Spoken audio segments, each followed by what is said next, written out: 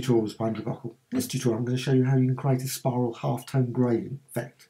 Now, first thing to do, go over to the gradient, make certain it's spiral, and gradients panel over here. Just go to window and gradients to make it's there. You can modify a number of spiral arms, you can just change that, and I'm going to go with that. So just drag that out. Now, obviously select whatever gradient you want. Now applied difference there. If you don't want difference, you can actually just course apply just go back to default and just apply it like that. Got design. Now that's quite nice. So just going to click OK, commit it, and then that's one thing when you commit it, actually commit gradient, it has been committed. It's very slightly odd in the sense, but of course it's still got the tool active. So now, first thing to do, just go over here to Effects and Esoterica and Pop Art Fill and there you are, you've got a nice spiral half-tone gradient very quickly. Now you can modify the scale, so you can change that, make it bigger dots, smaller dots, modify the contrast if you want, or not. Change the colour, background or the dab colour, so if you want you can go for the blue one. Now, click OK.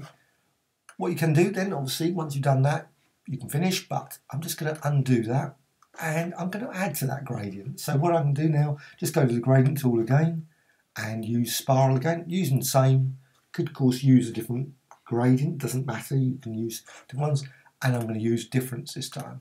So I'm just going to drag that out here.